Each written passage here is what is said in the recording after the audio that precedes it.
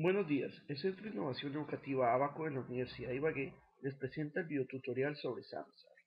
Samsar es una herramienta en línea gratuita que permite convertir un determinado archivo a múltiples formatos.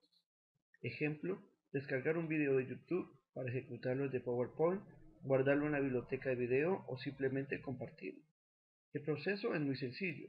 Primero, abrimos nuestro navegador de Internet preferido, Internet Explorer, Google Chrome, Firefox, entre otros. Para el ejercicio utilizaremos Internet Explorer. Lo abrimos.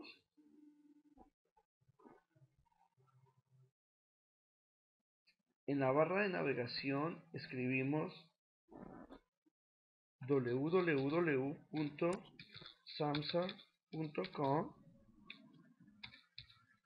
Damos Enter y esperamos a que abra la aplicación. Para convertir un archivo desde Samsar debemos realizar cuatro pasos. El primero, elegir el, el archivo o URL a convertir. En este caso eh, utilizaremos un archivo del computador, utilizaremos File.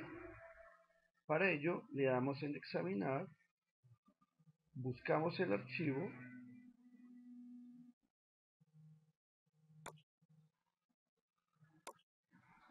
y ese sería nuestro primer paso.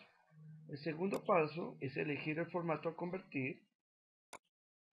En este momento vamos a cambiar el archivo que tomamos PDF a convertirlo a un archivo docx de Office. El tercer paso es agregar nuestra cuenta de correo donde recibiremos el link de descarga del proceso de conversión. Veamos nuestro correo electrónico que más utilizamos.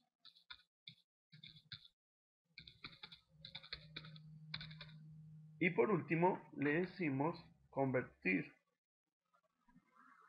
Nos despliega una ventana donde nos dice que se va a convertir un archivo PDF a docx y que el link de, el link de descarga se enviará a abaco.univague.edu.com.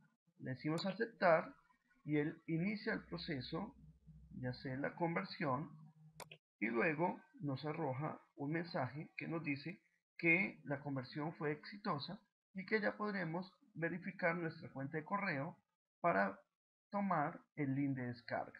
Entonces nos nos dirigimos a nuestro administrador de correos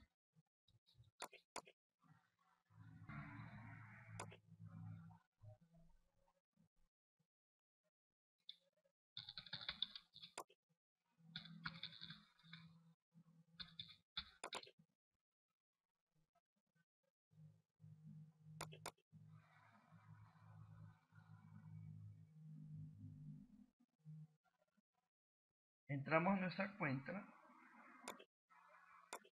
observamos el email que nos ha llegado de Samsung vemos que dice que el siguiente archivo fue convertido satisfactoriamente en un archivo pdf a docx y acá tenemos el link de descarga. Le damos clic. Observamos que ya nos da la opción de descargar el archivo ya lo tenemos convertido en abaco.docx decimos descargar. Decimos guardar. Lo guardamos en la ubicación que queramos. En este caso lo guardaremos en el escritorio y le decimos guardar. Por último observamos que ya tenemos nuestra versión en abaco.pdf y abaco2.docx con esto finalizamos el proceso. Espero esta herramienta sea de mucha utilidad. Si tiene duda en el proceso, no duden en escribirnos a la dirección de correo abaco.univague.edu.com. Hasta la próxima.